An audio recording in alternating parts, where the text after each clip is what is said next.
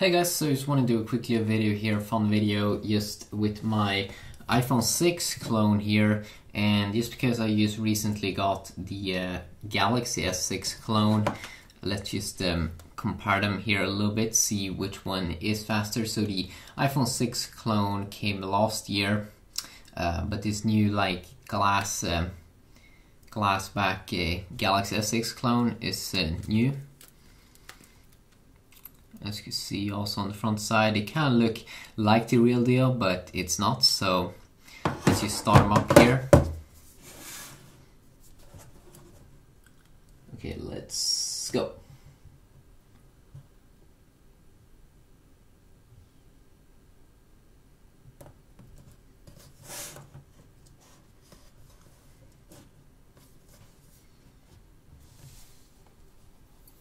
So you can see that uh,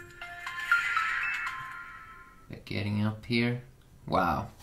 Yeah, definitely some faster startup speeds here for the iPhone 6 clone.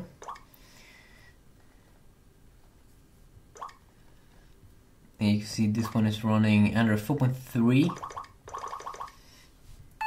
I'm pretty sure. It might be wrong though. Uh, versus the Galaxy Galaxy S6 clone here, which is running on I think Android 4.4 KitKat. I also did run a Geekbench test. You can see here the TouchWiz UI. Of course, this iPhone 6 clone here is not running iOS because uh, they can't uh, load that on the device. But Android 4.4 according to that one. But uh, let's just go back. You can see here when I did a Geekbench test. Huh. Do I have to rerun it? Okay, let's do that. Let's run these at the same time.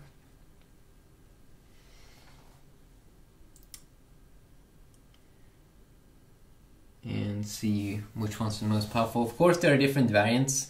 There are different clones out there with different internals.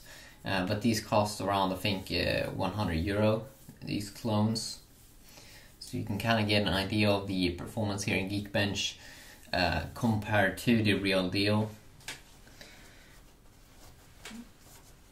Looks like the iPhone 6 clone is a little bit faster.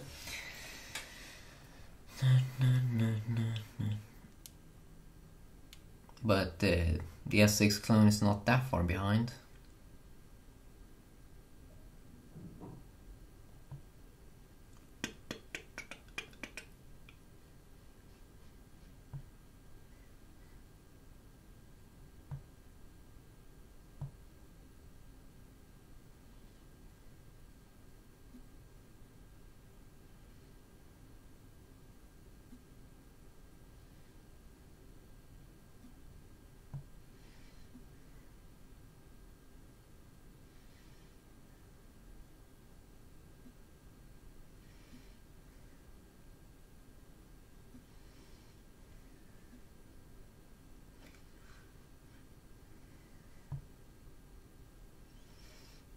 Hmm. Let's see.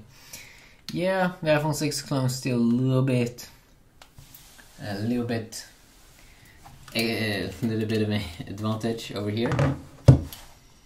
See, it's soon finished, which is good news. You can kind of compare it against your phone because the Geekbench 3 app is well in the Play Store for everyone run that runs Android at least, or also for iOS users. Yeah, single core score 353. And uh, let's see what kind of score we get. I'm pretty sure on like the iPhone 4, for example, you do get a single core score of around 200. I'm pretty sure it's something like that.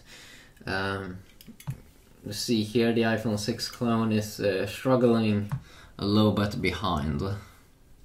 Hopefully it won't lag behind that much. Uh, when the final score arrives here, testing all the different things, uploading results.